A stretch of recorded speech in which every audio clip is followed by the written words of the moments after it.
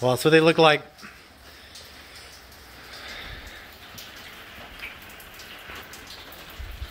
Looking pretty good. About to hook up the fog lights probably tomorrow. And I'm gonna get the fog lights on a separate switch. And I'm gonna put the halos on the side marker constant for the running lights. Um, it's going pretty dope.